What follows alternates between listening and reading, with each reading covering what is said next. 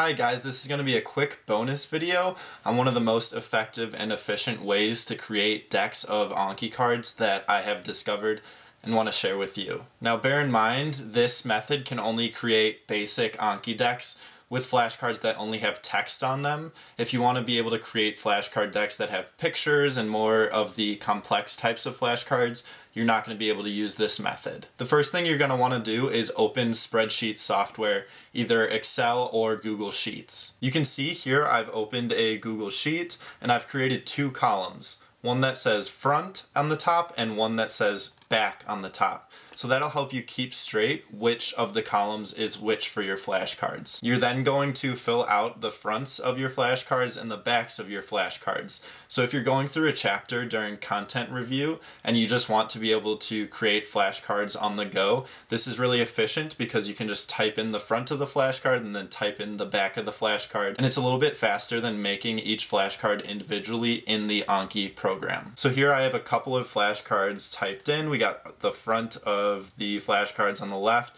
the back of the flashcards in the right column, and however you want to arrange that front and back. Fill out as many flashcards as you need. I used to keep a running spreadsheet going when I was doing a lot of content review. You're then going to go to File, Download, and then download as comma separated values or .csv. Save that wherever you would like to. Usually in Google Sheets, it'll automatically download it to your downloads folder. You're then going to open Anki and you can see some of my Anki decks here. You see on the left column it says due, that's how many flashcards are due for that day. And I haven't opened Anki in several months, so you can see there's hundreds due.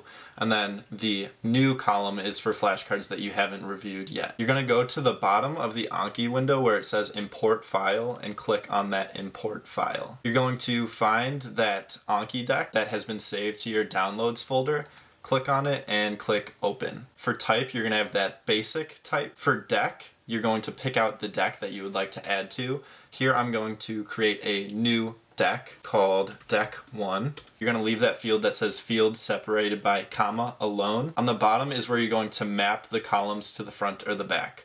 So field 1 is going to be mapped to the front already by default. Field 2 is going to be mapped to the back. Field 1 refers to the first column and field 2 refers to the second column. You're going to click import and then get the statistics on how many notes were added. Then once you go to that deck, you'll see that those flashcards have been added to Anki. So there you have it. This is a little bit more of an efficient way to keep a running list of flashcards instead of making each one individually. And I think it'll really help you out during your content review if you want to keep these running spreadsheets going and kind of batch your flashcards. Thanks for joining me. I hope this tip helps you.